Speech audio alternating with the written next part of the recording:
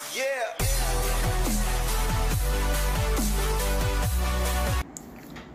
Welcome to rapid miss Tamil channel Tamil Nadu teacher education யூனிவர்சிட்டியில் படிச்சிருக்கக்கூடிய BEd second semester ஸ்டூடெண்ட்ஸுக்கான assessment for learning so இந்த வீடியோவில் examination எக்ஸாமினேஷனுக்கு so புதுசாக படிக்கக்கூடியவங்க நியூவாக இப்போ தான் நீங்கள் ஸ்டார்ட் பண்ணுறீங்கன்னு சொன்னால் ஸோ நீங்கள் ஈஸியாக பாஸ் பண்ணுறதற்கான கொஷின்ஸ் நம்ம வந்து செலக்ட் பண்ணி இதில் இந்த வீடியோவில் கொடுத்துருக்கோம்.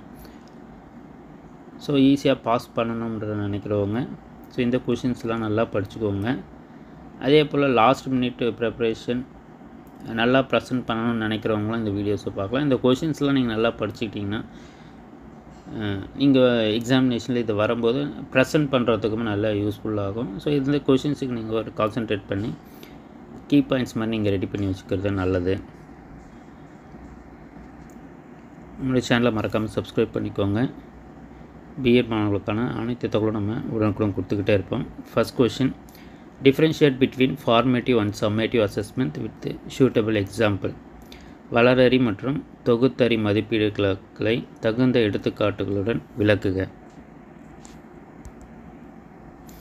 Second narrate the steps involved in assessment process and their principle மதிப்பீட்டு செயல்பாட்டில் உள்ள படிநிலைகளையும் கோட்பாடுகளையும் விவரி. ஸோ இந்த கொஷின் வந்து இப்படி கேட்கலாம். அதர்வைஸ் பார்த்திங்கன்னா describe the principles of good அசஸ்மெண்ட்டுன்றதை வந்து கேட்பாங்க. சிறந்த மதிப்பிடல் நடைமுறைகளுக்கான கோட்பாடுகளை விவரி. ஸோ அதே போல் கேரக்டரிஸ்டிக்ஸ் ஆஃப் குட் அசஸ்மெண்ட் ஒன்றுமே கேட்பாங்க.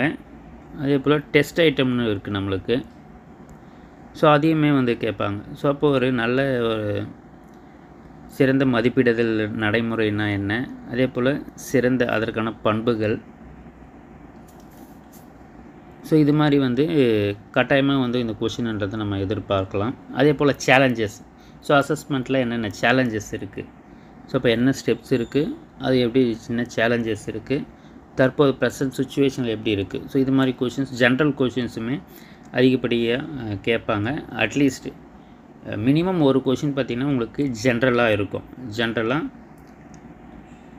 கேட்பதற்கான வாய்ப்புகள் இருக்குது fourth compare the three kinds of roles assessment plays in student learning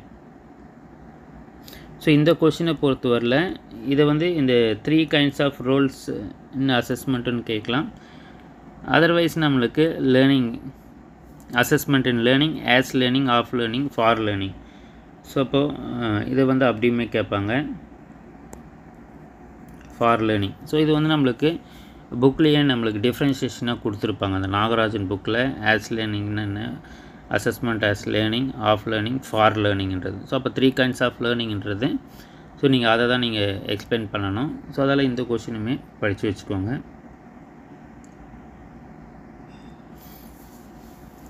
so இது எல்லாமே பார்த்திங்கன்னா உங்களுக்கு ஃபஸ்ட் யூனிட்டில் இருக்கும். செகண்ட் யூனிட்டில் explain the three explain the types of assessment மதிப்பீட்டின் வகைகளை விளக்கு.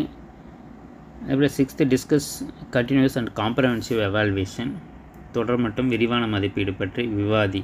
ஸோ இப்படி கேட்டாங்க நீங்கள் கேட்டாங்கன்னா உங்களுக்கு வந்து நிறைய இருக்கும் அந்த கண்டினியூஸ் காம்ப்ரஹென்சிவ் எவால்வேஷனில் ஸோ நீங்கள் அதை பார்த்து வச்சுக்கோங்க. எதெல்லாம் நம்ம குறி கொடுத்த அந்த கான்செப்ட் நம்ம எழுதுனா கரெக்டாக இருக்கும்ன்றதை நீங்கள் முதல்ல டிசைட் பண்ணி வச்சிட்டிங்கன்னா எழுதுறதுக்கு ஈஸியாக இருக்கும்.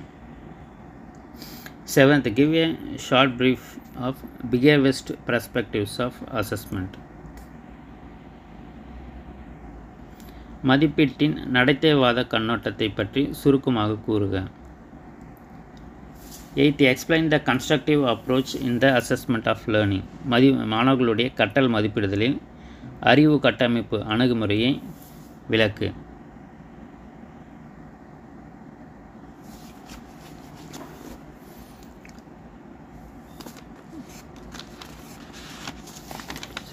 அதற்கடுத்தது இது வந்து தேர்ட் யூனிட்டில் வரும் உங்களுக்கு explain different modes of examinations பல்வேறு தேர்வு முறைகள் குறித்து விளக்குக. ஸோ தேர்வு முறைகள் குறித்து வந்து ரிட்டன் எக்ஸாமினேஷன் ஸோ அந்த ஃபா ஃபார்மேட்ஸ் என்னென்ன ஃபார்மில் இருக்குன்றது நீங்கள் எழுதணும். Tenth explain the principles involve in constructing various forms of test item பல்வேறு சோதனை உருப்படிகளை அமை அமைத்திடுவதற்கான கோட்பாடுகளை விவரிக்க. இதுவுமே பார்த்திங்கன்னா ஒரு முக்கியமான கொஸ்டின் ஸோ இதில் தான் குட்டு டெஸ்ட் ஐட்டம்னா என்னென்னு கேட்பாங்க. குட்டு டெஸ்ட்னா என்னென்னு கேட்பாங்க. இல்லை குட் அசஸ்மெண்ட்னா என்னென்னு கேட்பாங்க. ஸோ அப்போ நீங்கள் அந்த கேரக்டரிஸ்டிக்ஸை தெரிஞ்சு வச்சுக்கிறது நல்லது. Eleventh discuss the important issues in assessing learning achievement and problems related to evaluation system கற்றல் அடைவினை மதிப்பிடுதலில் உள்ள முக்கிய பிரச்சனைகளையும் மதிப்பிடுதல் அமைப்பு சார்ந்த பிரச்சனைகளையும் விவாதிக்க.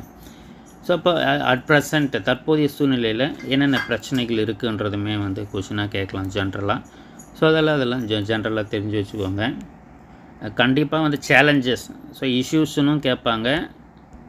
இஷ்யூஸ்னும் கேட்கலாம் இல்லை சேலஞ்சஸ்னும் கேட்கலாம். ஸோ வகுப்பறையில் அசஸ் பண்ணுறதுக்கு என்னென்ன பிரச்சனைகள் இருக்குன்றது இஷ்யூஸ்ன்னு சொன்னாலும் ஒன்று தான் சேலஞ்சஸ்ன்னு சொன்னாலும் ஒன்று தான் ப்ராப்ளம்ஸு ஸோ இது எப்படின்னாலும் அந்த வார்த்தைகளை சேஞ்ச் பண்ணி நம்மளுக்கு கேட்கலாம்.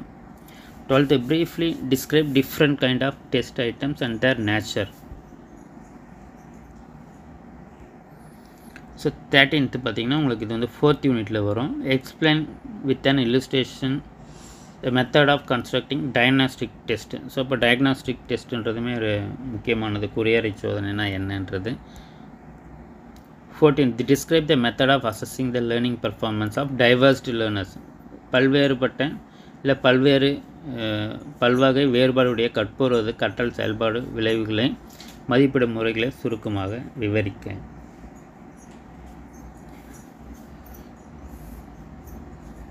Fifteenth what do you mean by reflective journal and explain it with an illustration so இது வந்து உங்களுக்கு லாஸ்ட் யூனிட்டில் வந்து இருக்கும்.